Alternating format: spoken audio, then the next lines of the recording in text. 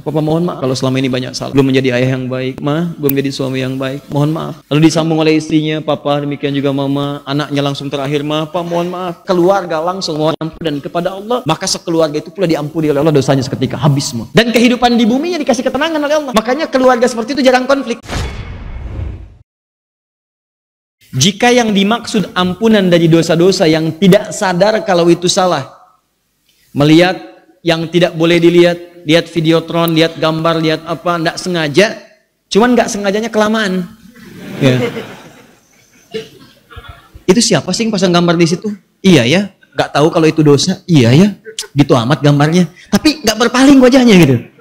Nah, baik yang seperti itu, teman-teman sekalian, itu seketika bisa digugurkan langsung oleh Allah Subhanahu wa taala. Kalau sadar kita salah itu, atau tanpa sadar kita banyak kesalahan yang kita kerjakan, kita nggak tahu berapa banyak yang dikerjakan salah itu. Maka rumusnya kata Quran sering istighfar. Astagfirullah, astagfirullah, astagfirullah. Di jalan, waktu senggang, kosong, mau masuk kampus, mau ke kantor, pulang kantor, ibu masak, sambil nunggu masakan jadi, sambil masukin garam, astagfirullah, astagfirullah, astagfirullah. Gak apa-apa, itu begitu Anda sering mengucapkan itu, nanti dosa-dosa yang pernah dikerjakan tidak sadar itu hilang. Hilang, hilang, lumayan nyicil. Nyicil, nyicil, nyicil, nyicil, nyicil. Itu nggak kerasa itu. Amalan yang kelihatan ringan, tapi dahsyat. Nah yang terakhir, dibiasakan istighfar ini khusus dikerjakan. Ini orang ahli surga yang kelihatan amalannya di bumi. Sampai ada ungkapan, kalau Anda pengen lihat ahli surga sedang ada di bumi, di antaranya adalah orang yang sering kali punya amalan istighfar menjelang fajar. Istighfar menjelang fajar. Lakukan setelah tahajud itu satu paket. Ya, di antum bangun, sekarang subuh jam berapa? 4.32 misalnya ya. Misal 4.32 subuh, antum bangun 2.34 atau jam 3 misalnya antum bangun. Begitu antum bangun kan tidak langsung sholat, Gak ada orang bangun. Begitu bangun langsung sholat misalnya kan? Kan gak ada. Ya. Jadi pasti dia ya mohon maaf dia menunggu dulu dia kan? Duduk dulu. Kemudian dia sadarkan diri dulu. Kadang-kadang sadar itu butuh berapa menit ya. Kadang melewati fase yang tidak terhitung. Ya padahal duduk begitu melihat jam udah jam 4 ya. Tuh pasti punya pengalaman begitu. Ya itu kalau bahasa Jepangnya nundutan ya.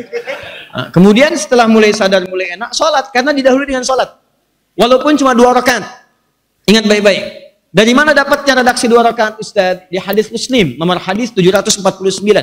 Siapa rawinya Ustaz? Ibnu Umar radhiyallahu taala anhuma. Apa bacaan hadisnya Ustaz? Hadatsana qala qala Rasulullah sallallahu alaihi wasallam. Salatul laili mathna mathna wa idza khasyiya ahadakumul fajra wa idza khasyiya ahadakumul fajra falyutir rakatan wahidah. Salat malam itu minimal, paling minimal kerjakan dua. Masih ada waktu tambah dua. Masih ada waktu tambah dua, silakan tanpa batas. Cuma paling minimal dua.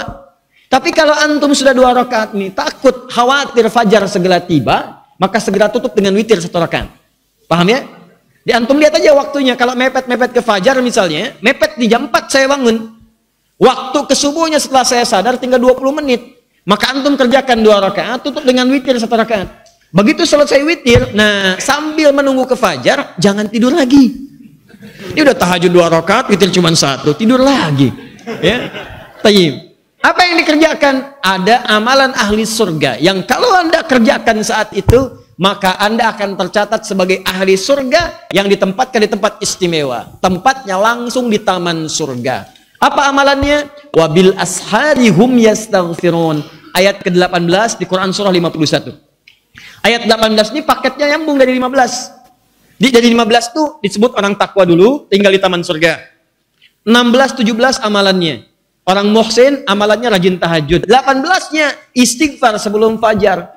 Waktu singkat sebelum fajar disebut dengan sahar. Jamaknya disebut dengan ashar. Wabil ashari hum yastaghfirun.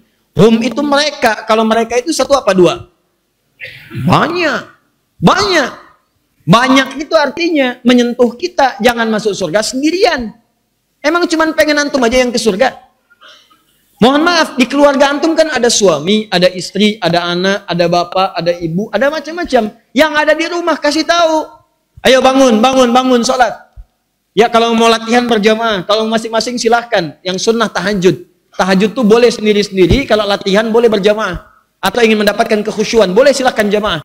Tahu dari mana Ustaz dalilnya? Abu Daud, nomor hadis 1369. Nabi pernah salat tahajud di belakangnya Ibnu Abbas ditarik oleh Nabi sejajar berdua. Itu dalil tahajud boleh ditunaikan berjamaah. Ada lagi Nabi salat di belakangnya ada tiga orang sahabat. Ada Hudzaifah al-Yamani, ada Abdullah bin Mas'ud, ada Ubay bin Ka'ab radhiyallahu taala anhum jami'an. Salat di belakang Nabi dan mereka berkisah bagaimana keadaan salat di belakang Nabi. Sampai Hudzaifah mengatakan salat di belakang Nabi salat paling indah sekali. Kalau baca ayat-ayat tentang surga, pengen kita ke surga. Kalau baca ayat tentang doa, berhenti Nabi di situ berdoa untuk umatnya. Nah ini yang saya maksudkan untuk menambah kehusuan. Antum kadang dapatkan orang yang bacaannya bagus, enak. Itu boleh antum silahkan. Suami bermakmum misalnya di belakang suami yang lain. Gak ada suami bermakmum di belakang istri. Suami bermakmum di belakang suami yang lain, ya kan? Maksudnya laki-laki bermakmum di belakang laki-laki lain. Boleh seperti tadi. Ada istri bermakmum di belakang suami, boleh. Kalau ingin sendirian boleh, hajat masing-masing boleh silakan.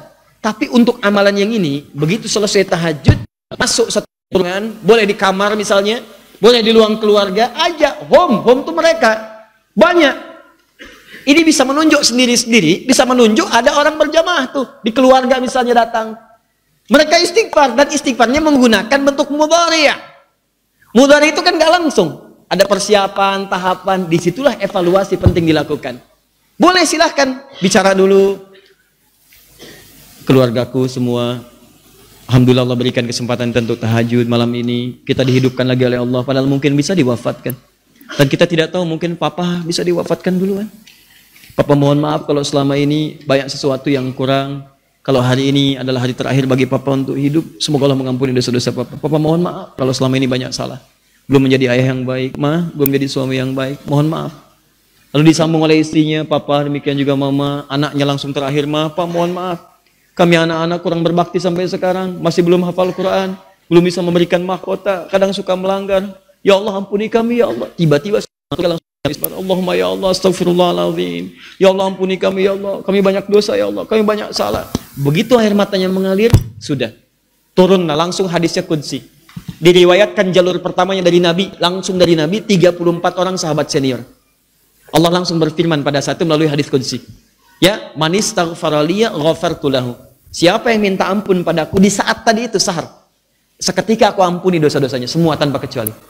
Ada orang ini bukan satu dua orang, sekeluarga langsung mohon ampun dan kepada Allah, maka sekeluarga itu pula diampuni oleh Allah dosanya seketika habis semua. Allahu Akbar. Itulah yang ke surga bersama-sama. Langsung masuk taman surga. Dan kehidupan di bumi yang dikasih ketenangan oleh Allah. Makanya keluarga seperti itu jarang konflik.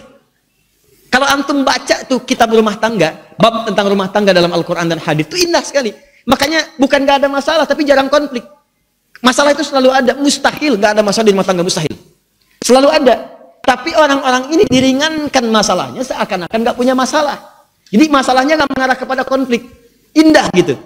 Silahkan kalau nggak percaya coba. Ya coba aja malam ini misalnya coba saling koreksi diri. Tiap hari usahakan begitu. Itu tenang. Ke, ke hatinya tuh enak. Jadi begitu ada masalah, malu pak ya. Tadi sebelum subuh kita istighfar, masa sekarang kita bertengkar? Oh iya ya, astagfirullah, astagfirullah.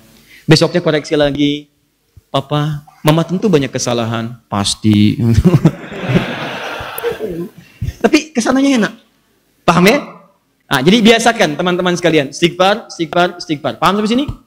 Nah, kalau sudah paham, saya akan tunaikan janji saya, minimal kita masuk kepada bagian yang kedua. Saya tidak ingin Anda ditanya pulang dari sini dapat apa malam ini? Seperti yang kemarin, ulangan. Ya. Jelas ya?